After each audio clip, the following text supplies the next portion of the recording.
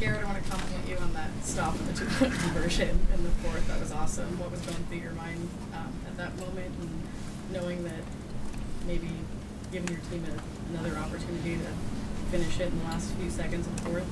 Yeah, you give uh, you give a lot of team a lot of juice when you get a two uh, two point conversion stop. But um, yeah, thank you. Um, it wasn't just me; it was the rest of the guys. Um, you know, I was just the lucky guy to go hit him. So um, thank you. But yeah, it just it, it gets a lot of juice to the rest of the team, and um, go out there and get fired up and go go have a drive.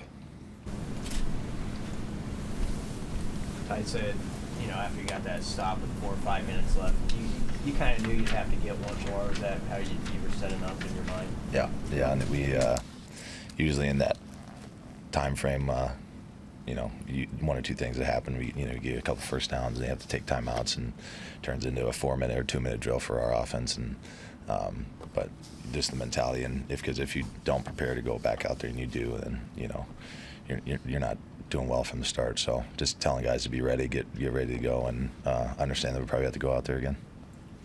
When a team runs as much as Wisconsin did in these kind of conditions, how much do you even feel that in the fourth quarter as those drives are piling? Yeah, I mean when you're you, when you're on the field for that long, and obviously those those uh, those heavy guys start to lean on you a little bit. Um, uh, I mean, just yeah, they they run the ball a lot, so they yeah they lean on you. That uh, sneak surprise you on third on the third and goal there on the two, or is that? No, that's anything pretty no, that's pretty normal of an offense. Get get that close, sneak it in. How would you evaluate evaluate your run defense today? Uh, you know, the 200 or whatever rushing yard isn't, you know, ideal what you do. I think he's only we only broke it out. We wanted to eliminate the X plays because he did a really good job of getting north and south, and with, with, the film we watched, and we wanted to eliminate those. And you know, he he has that ability to, like you saw, saw break it out of the stack or hit an edge, and uh, we wanted to minimize or eliminate those. Um, but you know, they ran. I don't even know how many times they ran the ball, but um, when they run it that much and we are on the field that much, it's you know, it adds on just those little runs. Sure, the, the, the loss is disappointing. How do you balance knowing that you played really hard and, and having that still be a point short?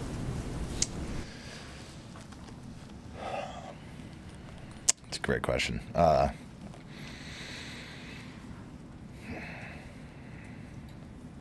sometimes in life you don't get the things that you think you, that you deserve or earn. You know, you don't you don't always get your way all the time um, with life or with football. So um, there's a lot outside of your control that that I can't control or we can control, and you got to realize that. And um, the things you can, you focus on those, and how do you get better in those and master those. That's that's kind of where my brain goes to. How, how do I get better? How do how do I make other people better in uh, our position group and lead um, with the things that I can control? What's what's your message to the team going into the Iowa week? They're Iowa. we got uh, obviously have a chip in our shoulder with, with, with those guys. So um, staying together for for one last week and cherishing these these moments with the seniors and playing as hard as we can for one last game against Iowa. All right. Thank you, Garrett. Thanks, guys.